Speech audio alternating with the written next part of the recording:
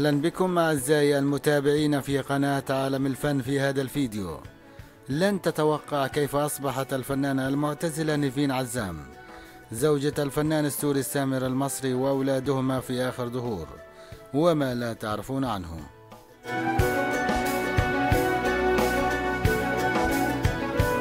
أهلا بكم.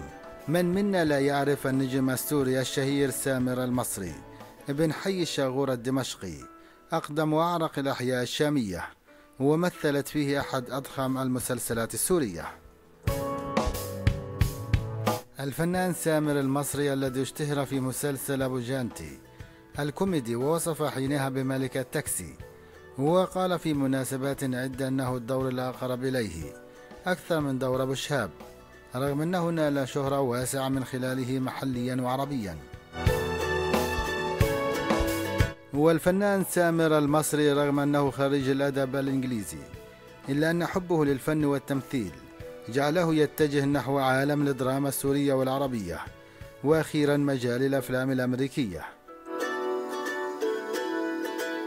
وأخيرا تداول رواد مواقع التواصل الاجتماعي صورة للفنان السوري سامر المصري رفقة زوجته الفنانة السورية المعتزلة نيفين عزام. وحظيت صورة الفنان السوري سامر المصري وزوجته الفنانة المعتزلة نيفين عزام التي وصفت بكونها أحدث إطلالة للثنائي بتفاعل واسع من قبل المتابعين حيث انهالت التعليقات وسط تباين في الآراء. وأشار العديد من المتابعين إلى وجود شبه كبير بين الفنان سامر المصري وزوجته نيفين عزام فقال البعض بيشبهوا بعض كتير كتير. فكرتم إخوات بيشبهوا بعض. وبينما انتقد البعض إطلالة الفنان المعتزلة نيفين عزام فقال أحدهم له يا أبو الشاب له يا باطل عليك بس مزوق يا درسان. وجاء في تعليق آخر وكشوها البلوزة أبو جانتي ما شايف مرته شو لابسة شو حال الفستان؟ وفي حين شبه آخرون الفنانة المعتزلة بالمطربة المغربية سميرة سعيد. ومما جاء في هذا السياق فكرت سميرة سعيد. والجدير بالذكر أن الفنان السوري سامر المصري متزوج من الفنانة المعتزلة نيفين عزام منذ أكثر من 22 عاما. وكانت الفنانة المعتزلة نيفين عزام قد شاركت في مسلسل خان الحرير ومسلسل الثريا عام 98 ثم اعتزلت للتفرغ لأسرتها.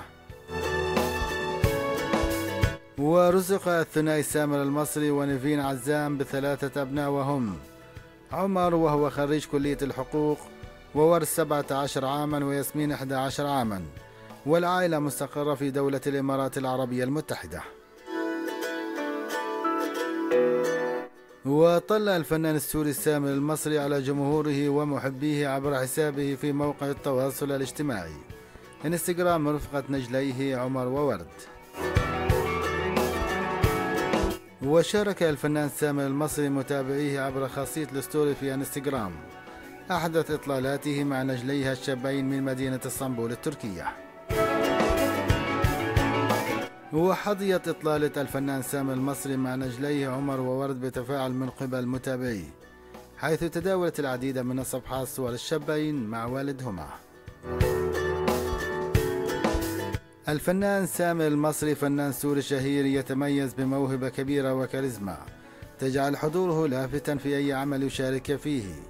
ومسيرته الفنية بدأت في منتصف التسعينيات وهو خريج المعهد العالي للفنون المسرحية. وشارك في عشرات المسلسلات لكنه اشتهر بشخصيتين العقيد أبو الشاف في مسلسل باب الحارة وأبو جانتي في مسلسل أبو جانتي ملك التاكسي. ولد الفنان سامر المصري في حي الشاغور في دمشق في يوم الثالث عشر من أغسطس عام 69 ودرس في مدارس دمشق ثم التحق بجامعة دمشق كلية الآداب قسم اللغة الإنجليزية وتخرج عام 91 وكان مغرما بالفن والتمثيل منذ صغره فانتسب إلى المعهد العالي للفنون المسرحية وتخرج منه عام 96 ثم انتسب إلى نقابة الفنانين السوريين في نفس العام.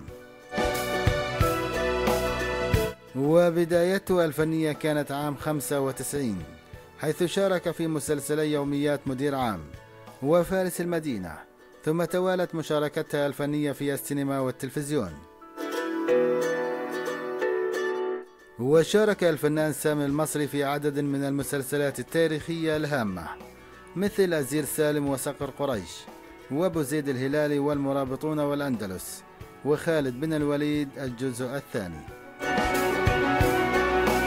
وشارك أيضا في مسلسل البيئة الشامية الشهير باب الحارة وجسد شخصية العقيد أبو شهاب لمدة ثلاثة أجزاء ونجحت الشخصية نجاحا ساحقا فأراد مخرج العمل أن يغتالها معنويا فانسحب الفنان سامر المصري.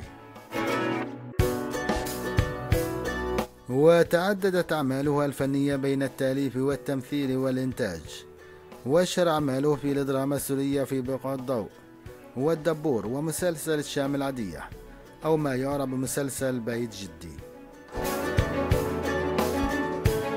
ولعب الفنان سامر المصري أدوارا مختلفة في مسلسل أهل الغرام. ودور الرائد هشام في مسلسل وجه العدالة.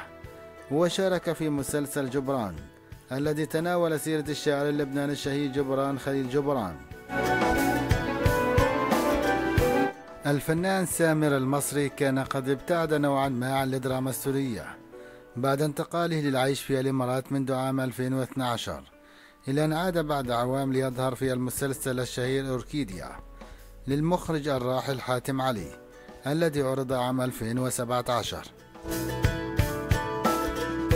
وشارك الفنان سامر المصري في العديد من الأعمال المسرحية أيضا ولم يكتفي بالتمثيل فقط بل امتد عشقه للفن المشاركة في الإخراج والغناء والإنتاج ومن أهم أعماله المسرحية التي قام بإخراجها.